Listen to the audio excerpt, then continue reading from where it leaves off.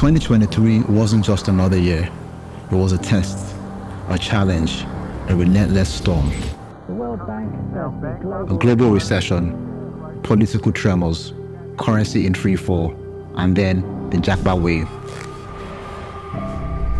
But you, the visionaries, charted a new course. At Spacefinish, we were there with you every step of the way. Here's what you showed us. In the face of uncertainty, through every no, you saw a yes.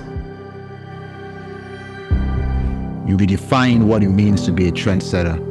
It's not about fitting into a certain look, size, Spacefinish, which is a Nigerian-owned company who designed the art and interior decor of this space. or about what location you come from. No. It's a fire that burns deep inside you.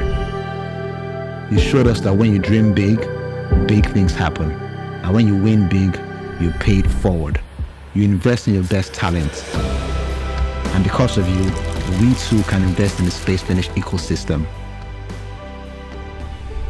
Now, no one can predict what the year will look like, but here's what we do know. To the ones who dare to dream, who build the future, Spacefinish is with you. We're ready.